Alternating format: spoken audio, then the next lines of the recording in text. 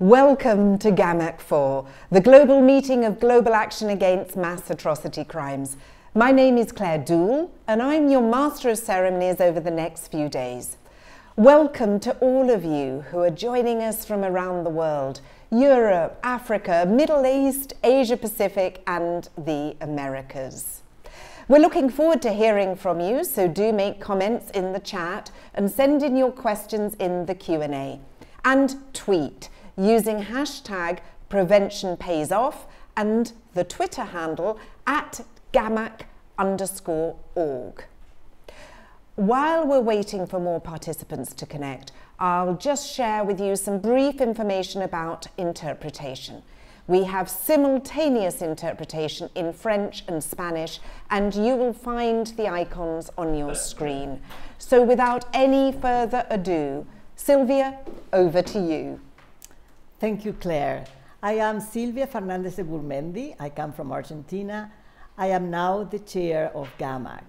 It is my pleasure to welcome you all to the fourth global meeting of the Global Action Against Mass Atrocity Crimes, GAAMAC. While this is the first time online edition of a GAAMAC global meeting, I am very pleased that it takes place since its postponement last year. Recording in progress. GAAMAC global meetings bring the community together to reflect and bring concrete recommendations on atrocity prevention. The focus of GAAMAC 4, strengthening national efforts to address hate speech, discrimination, and prevent incitement, is very topical, as hate speech is an issue of growing concern.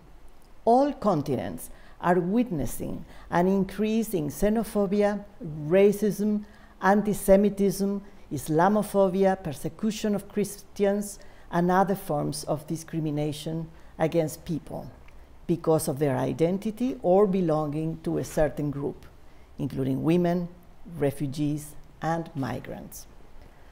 This increase in various forms of discrimination and intolerance is reflected in the multiplication of hostile messages disseminated through the internet, social networks, and other online and conventional media. Indeed, as recently stated by Secretary General Guterres during UNESCO Ministerial Conference addressing hate speech through education, held on 26 October 2021, social media provides a global megaphone for hate. However, let us remember that hate speech is not an invention of the new technologies.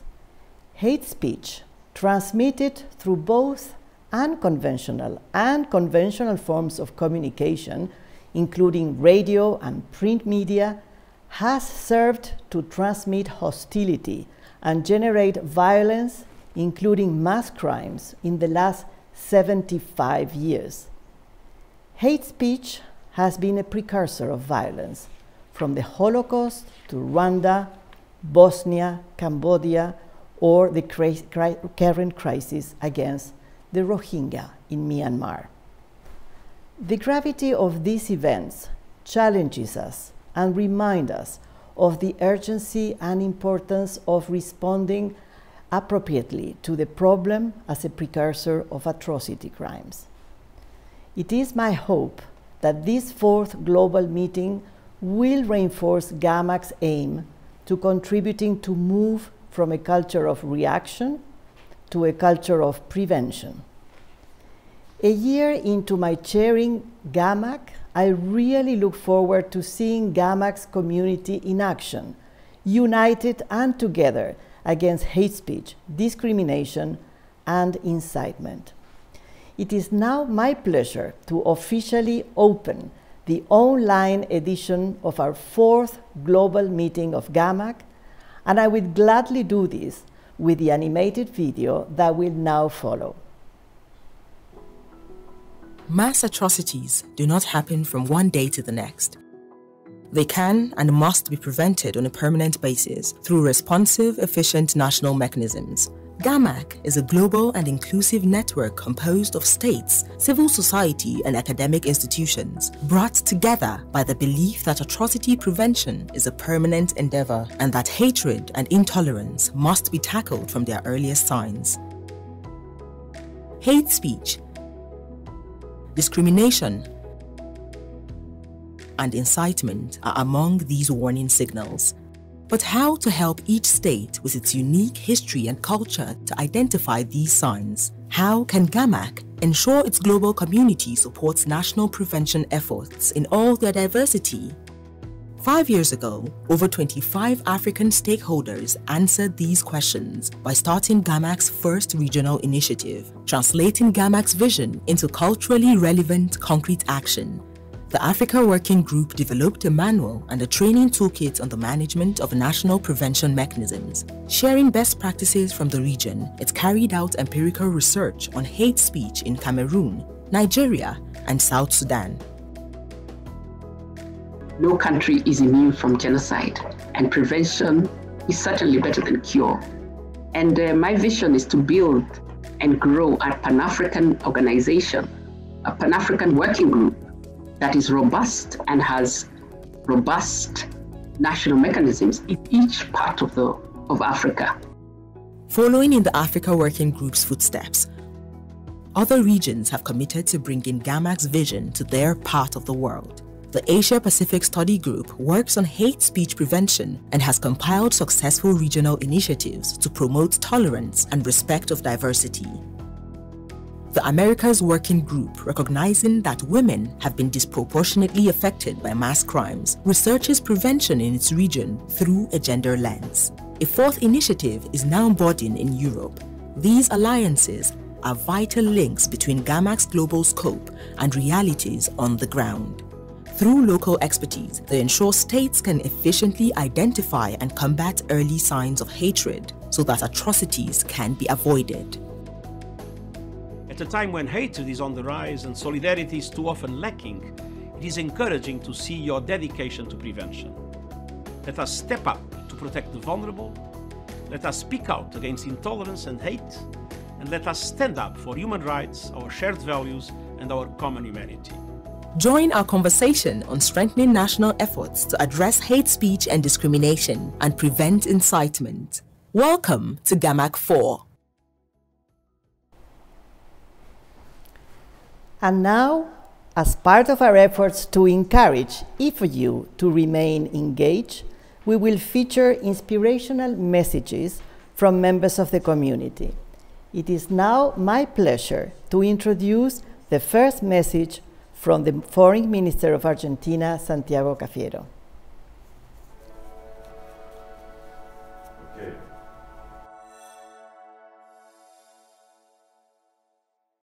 Como país que actualmente ejerce la presidencia de la GAMAC, le damos la bienvenida a esta cuarta conferencia, destinada a fortalecer los esfuerzos nacionales para combatir el discurso de odio, la discriminación y prevenir la incitación. Los discursos de odio socavan la cohesión social, comprometen la vigencia de los derechos humanos y también pueden sentar las bases de la deshumanización, la estigmatización y la violencia en nuestras sociedades. Resulta difícil subestimar el rol que en la historia reciente han tenido las manifestaciones verbales de intolerancia, racismo, discriminación y xenofobia, en la comisión de delitos atroces, incluido el genocidio. Frente a ello, existe una responsabilidad colectiva de movilizarnos contra los discursos de odio y en defensa de los derechos humanos y el Estado de Derecho. Más aún cuando las nuevas tecnologías y plataformas que nos conectan con el mundo también aumentan nuestra vulnerabilidad. Hoy más que nunca necesitamos de la cooperación y de acciones concertadas para hacer frente a estos nuevos desafíos. Les deseo jornadas productivas, de reflexión profunda y creativas, y también que consigamos resultados concretos.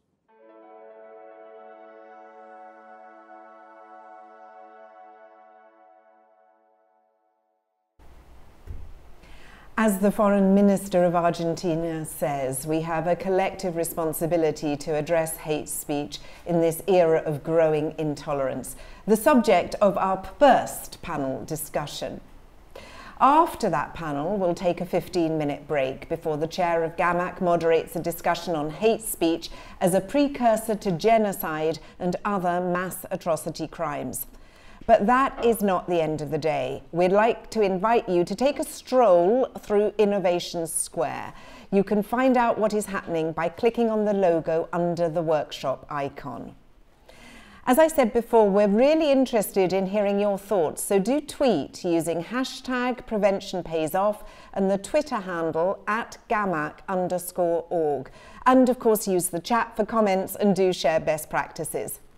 If you're having trouble with finding a session or need any other help, use the chat support in the little yellow icon at the bottom right of your screen. We're living in an era of intolerance where hate speech is on the rise. In our panel, we're going to be looking at the drivers of hate speech and how we address it while respecting freedom of expression. We have some of the most respected voices on the issue.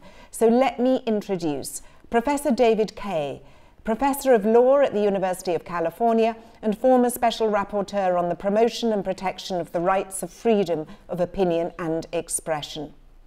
Teresa Ribeiro, the OSCE representative on the freedom of the media, and Dr. Tawfik Jelassi, Assistant Director General of UNESCO for Communication and Information.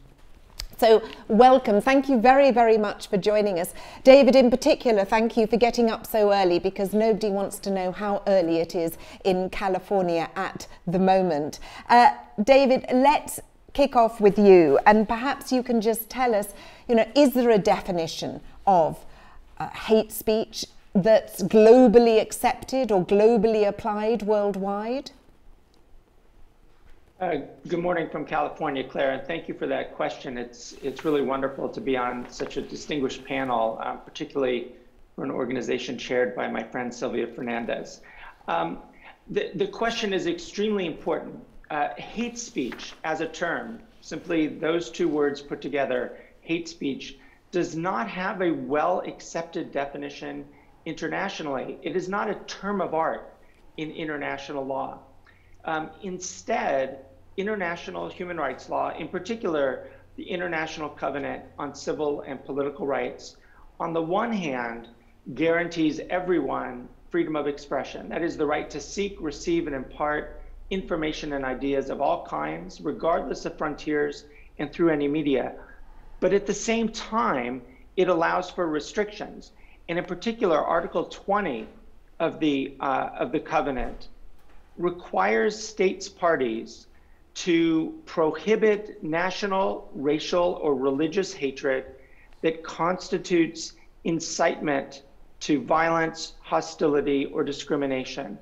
And that is essentially where I think the common understanding of what we might discuss here as hate speech uh, might be. And that means that hate speech, as a matter of international law, really focuses in on the question of when does advocacy of hatred constitute incitement. So we tend to look toward incitement, and there's been a number of expert studies and um, resolutions adopted by organizations and law uh, concluded by organizations and courts, such as the European Court on Human Rights, that further refine how we understand hate speech.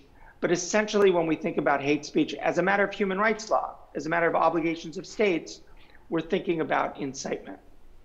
Thanks, um, David. Now, of course, those international uh, conventions, their uh, UN conventions, let me bring in Tawfik into the discussion because I know that the UN uh, Secretary General Antonio Guterres um, feels obviously very strongly about uh, hate speech. We heard uh, Silvia quote him in her earlier remarks. So tell us very briefly about what the UN is doing on hate speech. Thank you, Claire. If I may add to what uh, Professor Kaye has said, and agree with him, there is no commonly accepted, agreed upon definition of hate speech, but I would like maybe to suggest the UN working definition, uh, which says, and quote here, it is any kind of communication in speech, writing, or behavior that attacks or uses pejorative or discriminatory language with reference to a person or a group on the basis who they are, based on their religion, ethnicity, nationality, race, color, descent, gender, or any other identity factor. So uh, uh, being at UNESCO, we are obviously a specialized UN agency. I wanted to contribute with this UN working definition on hate speech. Thank you, uh, Tawfik. So we got a working uh, definition. Um, as David was said, there's, there's no sort of globally agreed definition. Uh, Teresa, is that a problem that there is no uh, total agreement on what hate speech is?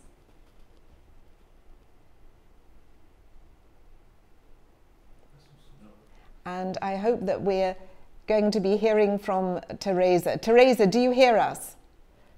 I think you might need to unmute yourself. You. I'm now. I, I think you can you can hear me now. First of all, uh, thank you very much for having me today in this uh, wonderful panel. I want to greet my colleagues uh, in the panel. It's really, really a pleasure to discuss uh, today with you um, this very, very topical uh, issue for the reasons that uh, were extensively explained by the former, the former speakers.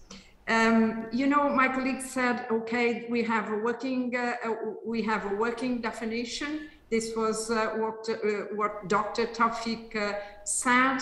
Uh, Professor David Kaye, he pointed out that we need to find the right balance, and I think that's, that's the problem, to find the right balance between freedom of expression and hate speech.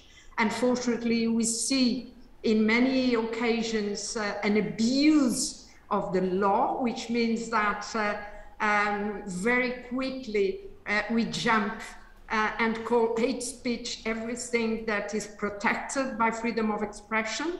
And freedom of expression can and, and should protect um, even speeches that, that are uh, offensive, that can shock, that can disturb, and they are protected by freedom of expression hate speech uh, is uh, something that is different and was uh, very well explained by both uh, of my colleagues in this panel. If it raises a problem, um, I think the problem is not so much the working definition, which is of course very important for the courts, um, but it's also the implementation of the laws. Uh, you know, the and and the independence of the judiciary plays a role and a very important role. And at the same time, as we are uh, more and more in a globalized and interconnected world, um, we can, because there is not an agreed upon definition, um, that is only one, that is uh, uh, not a multifaceted, not a multidimensional. Of course, it can provoke some clashes between national legislations.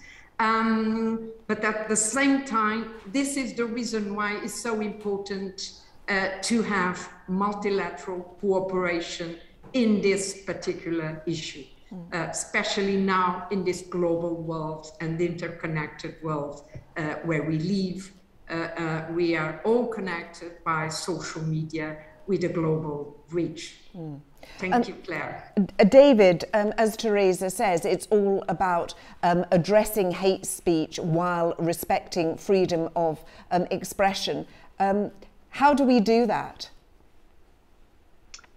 Well, that's that's an excellent question, and um, and I think one of the things that Mr. Ribeiro really highlighted that's, that's quite important is that these issues come up in different forums. And so I think it's useful for us, and in particular, uh, Dr. Jelassi's uh, reference to the uh, working definition may be helpful here as well. It's useful for us to distinguish what we might think of as the state's restriction on expression, the state's effort to, for example, um, limit hate speech, if we're using that term in a, in a general sense, versus other platform, other um, authorities, you know, such as a social media platforms' uh, efforts to restrict expression. And if we think about it in those ways, then we can think that, well, if we're talking about a state's restriction of hate speech, the bar is fairly high for the state to actually criminalize speech. And that's because of the robust nature of the freedom of expression, but also it's a recognition that there might be uh, opportunities, there might be situations where it actually is important to address hate speech. That is the kind of speech that is hateful, that constitutes incitement. But we might look to different standards, standards that are still drawn from human rights law that recognize freedom of expression, but address hate speech on social media platforms, for example. And there, the working definition might be particularly helpful. But we can look to different standards uh, in different uh, circumstances and different environments. Mm. Uh, David, uh, both you and Teresa have mentioned uh, social media. I mean, perhaps, uh, Teresa, let me just ask you now. the title of this panel is um, Addressing Hate Speech in This Era of Intolerance. So, you know, why is there so much hate speech now? Is it driven by social media? Is that the main issue, Teresa, that you see? No, I don't think, uh, and we need we need to look at social media as important. I would say they fuel, they amplify, and they accelerate hate speech. But they are not the creators of hate speech.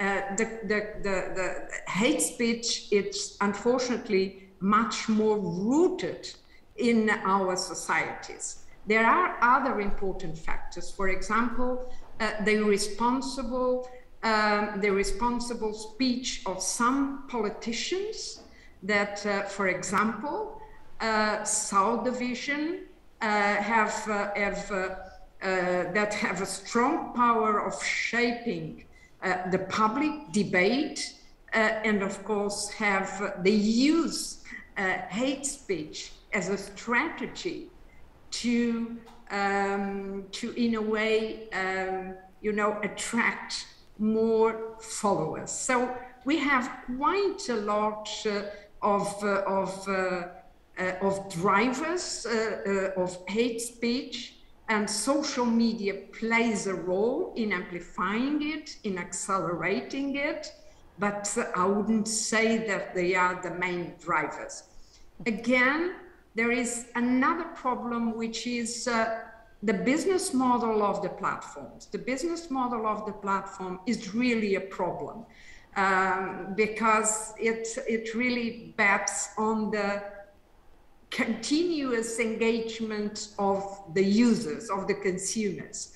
And uh, it's, uh, you know, it's, it's, it's clear that the consumer is more engaged, unfortunately, when there is uh, this kind of, uh, of speech circulating in the social media. So uh, there are many, many causes, um, and, and of course, social media also play a role and an important one. Mm. But don't forget the others. Don't forget the divisions that explored by the politicians uh, and by the public officials, which I think is, uh, is, is, are also very important, as well as religious leaders too. It's not only politicians, but also uh, religious leaders in certain parts of the world. Mm. Yeah, Teresa, I mean, point taken that it's important not to demonize social media. Uh, they might be the amplifiers or the exacerbators, but not necessarily the uh, creators. Tawfik, um, I know UNESCO's been doing some work on monitoring uh, hate speech on social media. What, what can you tell us about the stage that you're at in that particular project? Well, yes, uh, we have been monitoring this phenomenon, and actually uh, later this week we'll be launching uh, our World Trends report uh, on freedom of expression and media development. I understand the point that uh, Teresa was making about the business model that uh, underpins, obviously, these internet companies. however, some of the actions that we at UNESCO we have undertaken is campaigns on media and information literacy. We have also engaged in training of judges to respect uh, standards on freedom of expression. So far, we have more than we had more than 23,000 uh, judiciary actors trained on regional or international standards on freedom of expression. But also, we have been working sometimes with the internet companies themselves on issues of uh, transparency and accountability as well. So we believe that we have to take these actions on two fronts. One is the supply of information, and one is obviously the demand of information. Media and information literacy is for the receivers, for the users of this information to make them more aware and uh, to make them more uh, critical thinkers before they click on an information with a focus on what is misinformation, disinformation, and what is actually truth-based information. But on the supply side, on issues of transparency, accountability, and privacy, and we are doing that with the internet uh, platform companies. So, as you rightly say, there's the uh, there's the supply and demand. Uh, let's just keep on supply at the moment, uh, David. Something interesting that uh, Teresa was saying, and also Tawfik, was you know it's not in their business model uh, to stop hate speech. You know, this is good for business because there's more more more clicks on this. Um, what do you think social media's uh, companies uh, should be responsible uh, for? And, and can you tell us what they're doing at the moment? Right. I mean, I think that that's that's certainly been true in the past. That the business model of of social media has been to attract uh, to attract uh, eyeballs, to attract people to actually be on the platform. And the more spectacular the content, you know, people, the more people will share it. Um, we, of course, know that the platforms have also been abused, subject to manipulation by bad actors, whether they're governments or non governmental actors. So, so there's a lot of room, unfortunately, for abuse of the platforms.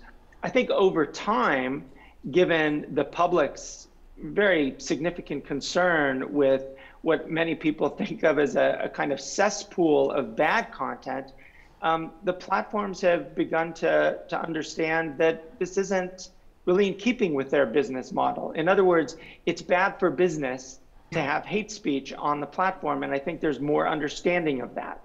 I think right now, of course, all of the major platforms have uh, rules, whether they call them community standards or guidelines, uh, that uh, essentially say that hate speech, however they define it, is not permitted on their platform. The problem is that many of the platforms are so massive that dealing with the kind of content that we're talking about at scale is extremely difficult. And it's particularly difficult when we're talking about companies that may be based uh, in the state where I live in California, or they may be based uh, elsewhere, and they don't have access to the kind of context, to the language uh, specialties that might be required when one's looking at a place like, for example, Ethiopia today, or Myanmar, or other places where there is very real hate speech that's problematic on the platform. And so there are real questions that we need to be asking. And then the final thing I would say on this is that, of course, governments do need to step in and require a measure of transparency from the companies uh, in, in all of this space. And I think the more transparency we have about what the, the platforms are doing, the better we will be able to understand what the response is, whether regulatory or corporate should be to those uh, to the problems that we're discussing here. Mm. I mean, David, do you think that they are quick enough in removing hate speech when it's identified? I mean, again, this is a problem that uh, has different responses depending on the place that we're talking about. I think that if we're talking about hate speech in Europe or the United States um, or across North America, let's say, I think the response time is probably pretty decent. Um, but but I do do want to say two things. One, looking around the world, that may not be the case, in part because of the lack of language and context context expertise.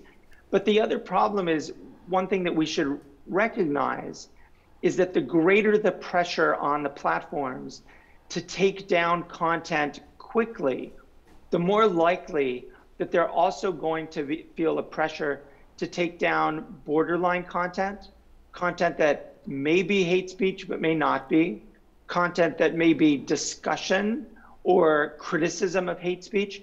The pressure to take down hate speech will also almost certainly lead to pressure to take down all sorts of content almost at the point that it's uploaded. And that should be something we should be thinking about critically as well, because as much as we want to deal with the problem of hate speech and incitement, we also want to make sure that government isn't really pressuring companies in such a way that they actually interfere with legitimate freedom of opinion and expression. Teresa, is that something that concerns you that uh, they might actually be impinging on freedom of expression if they take down content which is borderline or which is not hate speech? And, and are you seeing those sort of initiatives in, in Europe and in OSCE member states?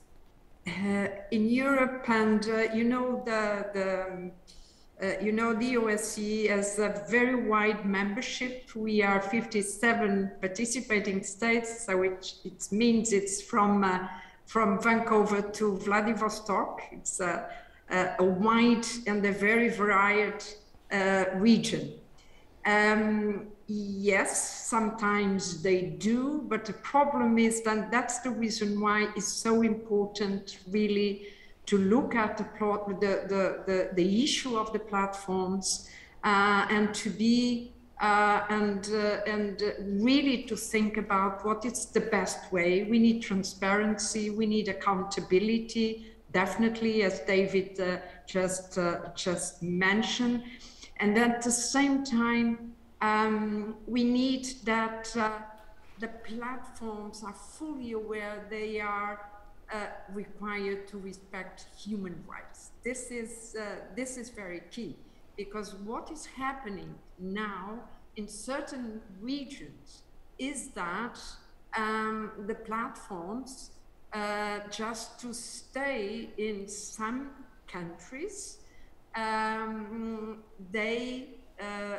they are, um, how should I say, they, um, they comply with the requirements of, uh, of the authorities uh, to remove some content that should not be removed.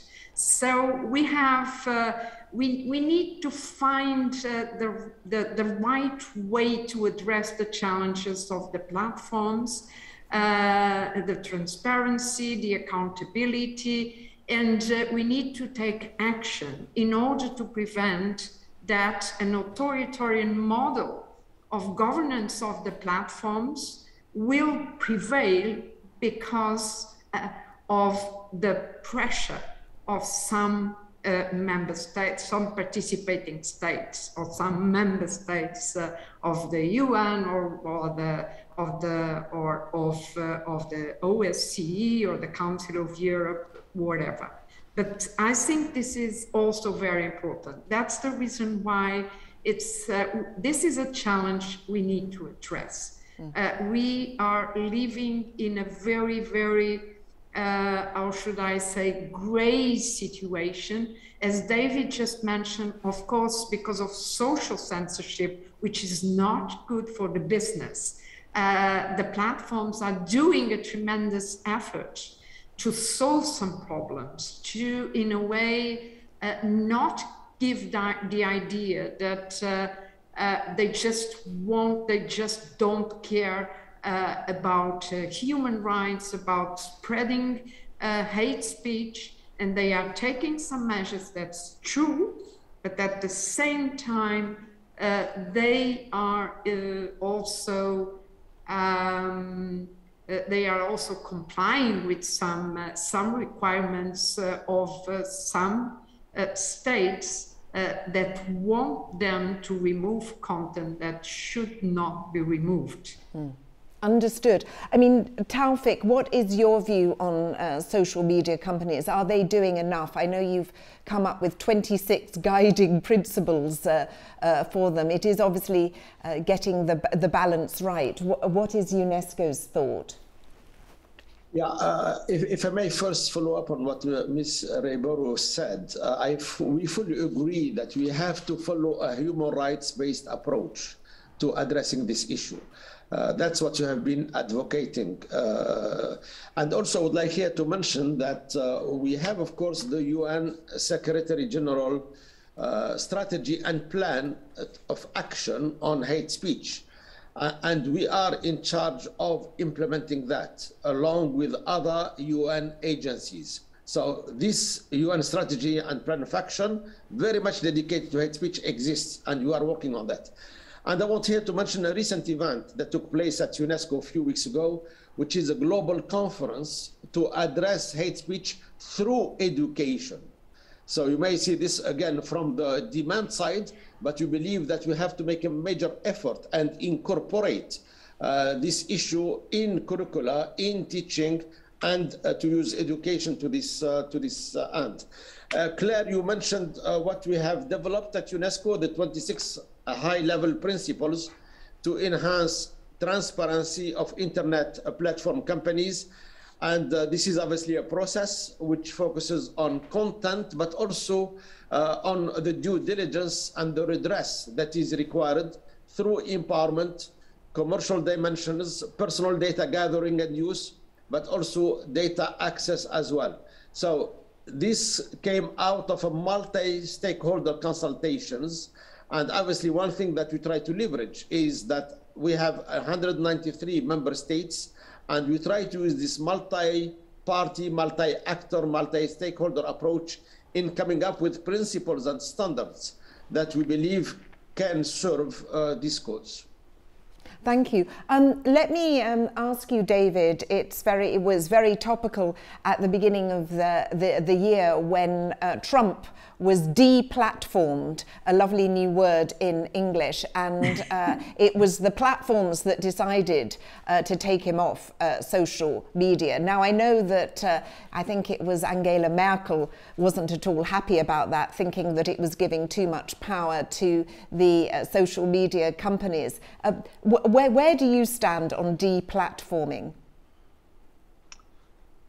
Look, I think that it's important for us to recognize that the that the platforms do create a certain kind of space for different kinds of actors to um, to organize, to uh, to manipulate, to build a sense of um, of worthiness, let's say, of worth in hate speech. And Trump was an example of that. And and I think it's also important to see that in terms of Trump's incitement to violence, which wasn't exactly hate speech necessarily, but an incitement to a kind of political violence that had, you know, quite fascist undertones, to be honest, that the platforms decided that this was not the kind of content that they wanted to have uh, sort of coursing through their system.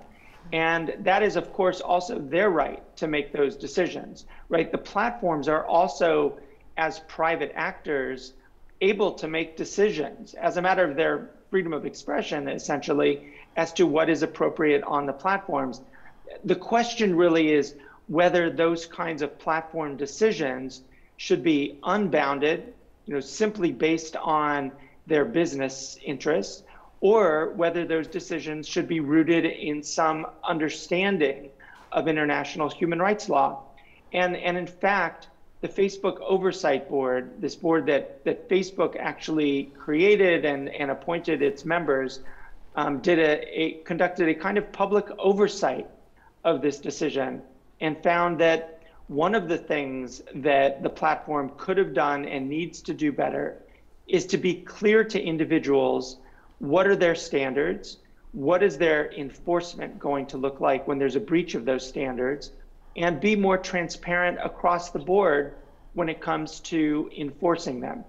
And so I think that as we as we talk about deplatforming, one of the key things moving forward is going to be for us as a public to have greater insight into what the platforms are doing and from the platform perspective to ensure that not only their rules are rooted in human rights and their enforcement is rooted in human rights law and an understanding of the harms caused by hate speech, but also that there's public oversight uh, of that process, which we don't really have today. Thank you. Um, and I'd also like to encourage our audience to please uh, put questions in the Q&A to our speakers. Um, David, just coming back to something that Tawfik said about, uh, you know, this has to be done through a human rights uh, lens. Um, what does that mean? And are any of the social media companies doing it? Yeah, I, I, mean, I think that means adopting rules that are very clearly rooted in human rights law. You know, this I, this allows us. First off, let me let me say also that Dr. Jelassi's and, and UNESCO's overall approach to thinking about media literacy, um, to understanding of hate speech and media on the one hand, but also social media in particular, is extremely important both for the short and the long term as as the companies develop these kinds of rules, I think we have a very good basis in the UN's guiding principles on business and human rights, which say a number of things. On the one hand, they say to states, you need to protect human rights. You need to protect them according to your obligations under human rights law. But at the same time, they say companies need to adopt publicly, transparently, human rights policies. They need to conduct human rights due diligence, that is impact assessment, whenever they adopt a new uh, a new product or enter a new market or decide to leave a market. What kind of due diligence are they doing in order to ensure that they're not um, interfering with, having an impact on human rights? To the contrary, what are they doing to prevent or mitigate that harm? And then the other issues of remedy and transparency flow into that as well. But all of those require policies by the companies. So we've been looking a lot at the uh, supply side of things. Um, in passing, everybody's been mentioning media literacy.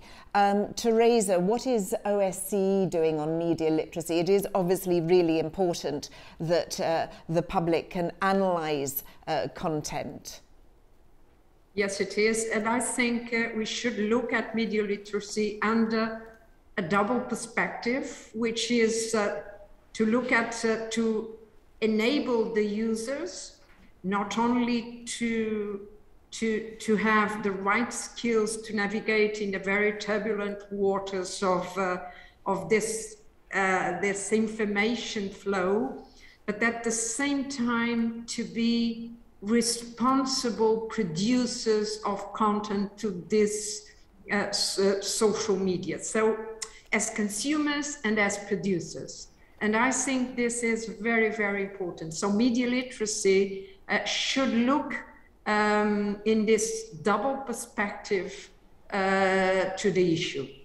Um, what we are doing, you know, we have now quite a lot of demands coming from the participating states uh, in order to be more active in regarding media literacy. Uh, and my intention is uh, to start uh, looking at it and uh, looking at it as a cross-cutting issue. This is important for hate speech. This is important for disinformation. This is important for the platforms. So this is is becoming more and more present and should be more and more present uh, uh, in our uh, in our work at the OSCE. And there is a demand from the participating states, definitely. I mean, Teresa, would you agree with Tawfik that uh, it's um, a sort of whole of society uh, uh, approach? It's about media literacy, but also education is something that's uh, needed? Absolutely, absolutely. And uh, I think that uh, uh Tawfik, but also David, they, uh, in a way, they, they were very clear regarding this, uh, this whole of society approach because we need the private the private sector, we need the states, we need the, the, the, civil society organization, we need the media organizations, and we need the citizens uh, uh, as such. So we need all of them if we really want to tackle and to address the issue of uh, hate speech. Definitely we do. in, is in its uh, in its different dimensions. Yeah. I mean, David, isn't this? Um, I mean, taking a whole of society approach, I mean, of course, it sounds very logical and, and rational and uh, education and media literacy, but of course, this takes time. And, um, you know, if uh, I've been the victim of hate speech, uh, I want it stopped now. What would you say? Well, that, I mean, that, yes, that, I mean, of course, that's true. I mean, uh, of course, these issues require both, you know, long-term efforts, you know, educational ones, policy ones. It requires, you know, let's be honest, it requires governments doing the right thing. And all too often, governments themselves are, are the ones who are promoting uh, hate speech. But, you know, for the person who is the, the either the object of or the, the subject of, the victim of uh, an attack on of hate speech, again, you know, we need to go back and ask, you know, where are we talking about? You know, are we talking about hate speech that has been um, uh, kind of a, a tool on social media? Is it the kind of speech that is designed simply, although this is deeply problematic, so I don't mean to minimize it, to push somebody off of a platform? In other words, is the hate speech a tool, excuse me, of silencing, you know, or is it um, a tool of creating physical harm, in which case the state must step in and uh, and deal with that appropriately. And so there's you know there's going to be a different outcome depending on you know where this is taking place, but none of this can happen uh, on its own, you do need the long term and the short term happening at, at parallel levels. Mm. We've got a, um, a couple of uh, questions uh, coming in from uh, the uh, audience here. Um, let me ask. Um, perhaps uh, David and Teresa might also have a view. Um, the European Commission has a Digital Services Act on illegal content uh, at the moment. I think it's going through uh, the European Parliament uh, as it makes its way then to the Council of uh, Ministers. Um, and the uh, writer says some people see this as a censor's charter. Um, what's your take on uh, this European Commission's Digital Services Act? Well, I'm happy to just say a, a brief word. I mean, the, the, the, Digital Services Act, which is pending um, and is the subject of you know very significant debate in the European system right now, um, you know, has at its core demands for transparency and accountability, and I think that's very important. And I think it's especially important that the that those who are debating and discussing the legislation itself right now really stick to some very basic fundamental principles. And it, it's, of course, the DSA is not um, merely about hate speech. It's about the, the nature of the responsibility of, uh, of platforms, of the very largest platforms in particular, uh, in an age where they have so much power over public speech. I'm very supportive of a process that leads to the implication, the, the imposition of fundamental standards, fundamental human rights, of uh, transparency in that process. And it seems to me that certainly the originally tabled version of the DSA does that. There are some more concerning things that are happening in the debate, but but I think that at, at the point of departure, the the need for a DSA is important, and it will certainly have implications for our understanding of and the transparency of how platforms deal with uh, problems such as hate speech. Um, Teresa, you're nodding, you're nodding your head. Any thoughts that you want to add to that question about the European Commission's Digital Services Act? No, just to just to join what uh, what David uh, just uh, just said, and uh, and really um, underlining the importance uh, of, uh, of the discussions around it and the importance uh, of, of having a legal um, a legal tool and at least a, a, a legal um, approach uh, to the questions of uh, responsibility, transparency, accountability, uh, and also um, appeal um, appeal uh, procedure because this is important. It's and again, uh, it's uh, the way to have remedies to in the short term for the one that has been in a way hurt by um, hate speech uh, in, uh, in a platform.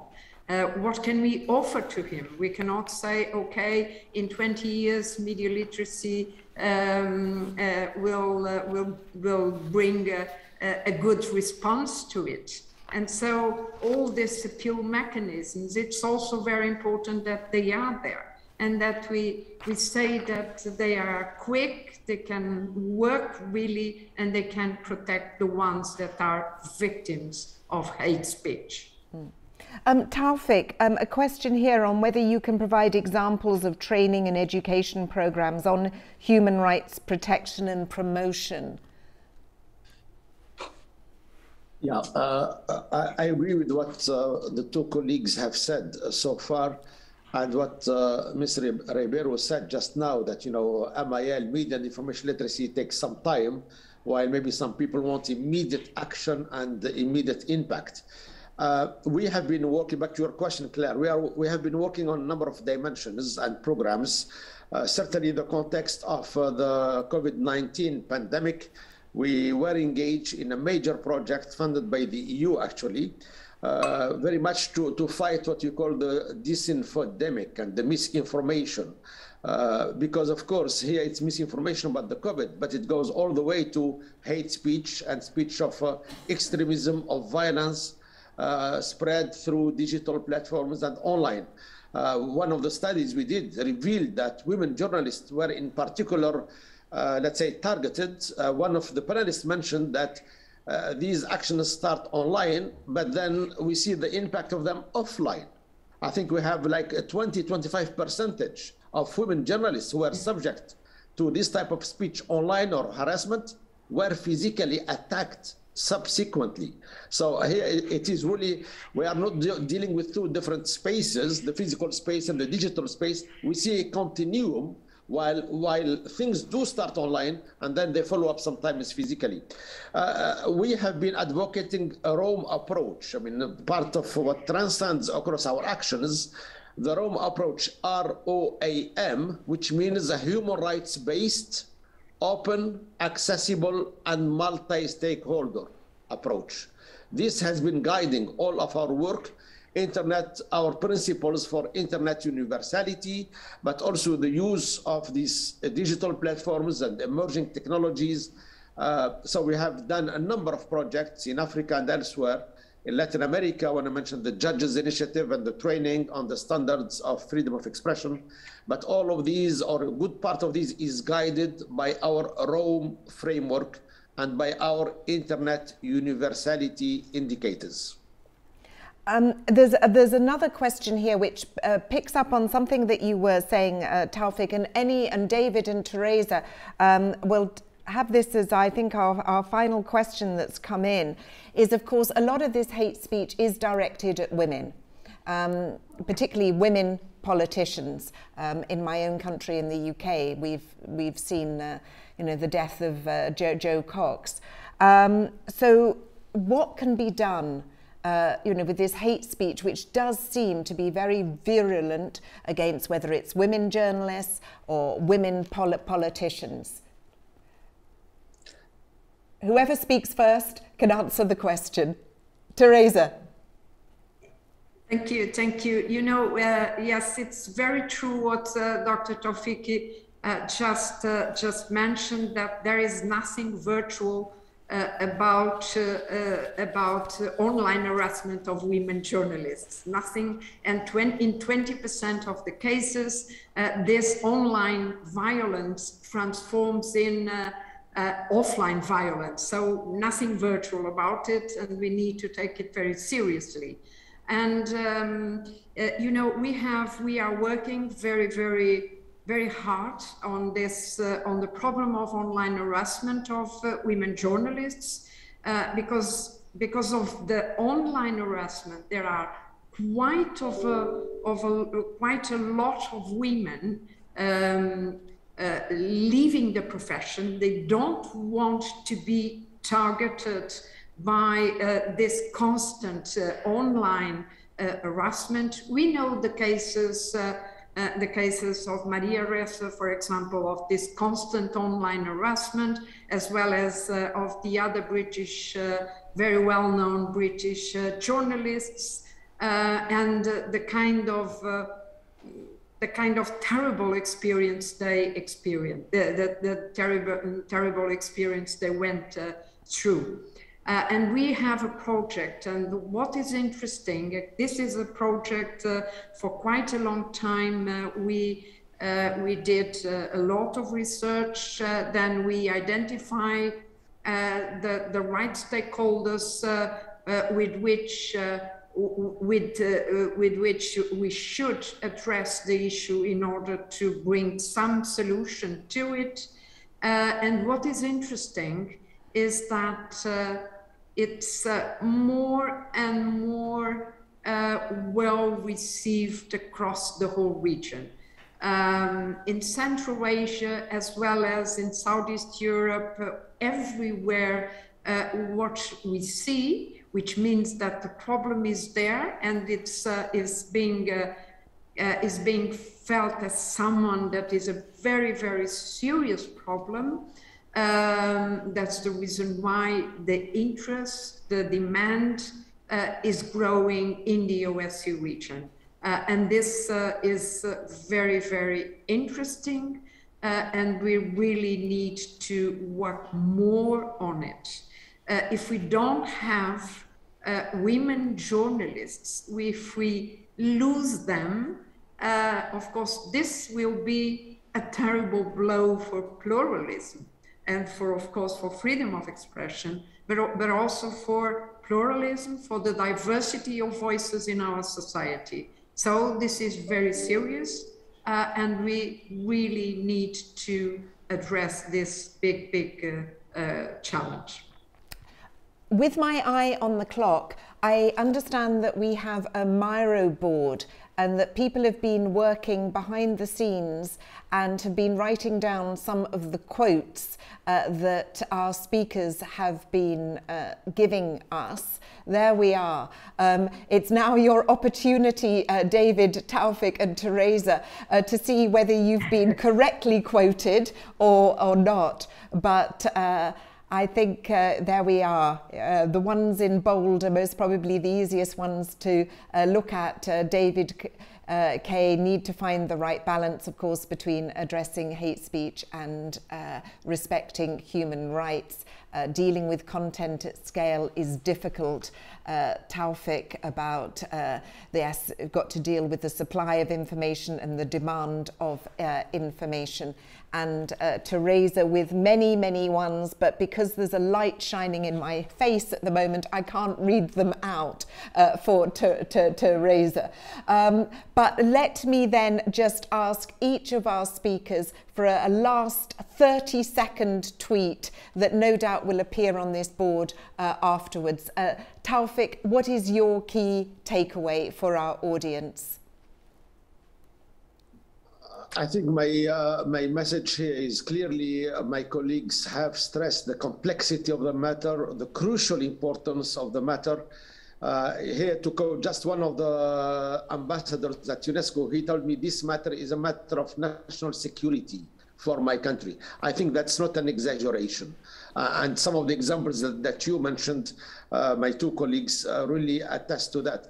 UNESCO sees its role as a facilitator of a process that requires multiple actors in a truly consensus-seeking multi-stakeholder approach. We need to work together to tackle this issue that is vital to citizens, to our societies going forward. It's truly a, global challenge for which we need to come together to find an effective response. Teresa, your final message my final message uh, is very much uh, is very much convergent to what uh, uh I heard from Dr. Tawfik. Uh, uh, and this let's join forces, let's do it together. We cannot do it alone uh, in, our, in our small corners. We have to join forces. And David, final word to you. I think my takeaway would be that um, we're dealing with very important issues here, and it's absolutely essential that as as big a problem as hate speech is, and as a big a problem it is for the safety of people around the world and for the security of nations around the world, it's essential that our responses be guided by the rule of law, by human rights law in particular, and by requiring from those public authorities or private authorities that are aiming to restrict it that they demonstrate the necessity of doing so and that they do so with attention to the real harms uh, that may flow from uh, forms of hate speech. Thank you very much. And you can see that uh, those messages were appearing on that board as you were saying them. And I'd like to thank very much Dr. Tawfik Jelassi, who's the Assistant Director General of UNESCO for Communication and Information, Professor David Kaye, Professor of Law at the University of California, and Teresa Ribeiro, the OSCE representative on freedom of the media, for joining us. So thank you. Thank you. And let me say that we're now going to take a 15 minute break. And when we come back, the chair of GAAMAC is going to be moderating a panel on the precursor to genocide and other mass atrocity crimes. So please do join us for the next 15 minutes. You have a break. Thank you.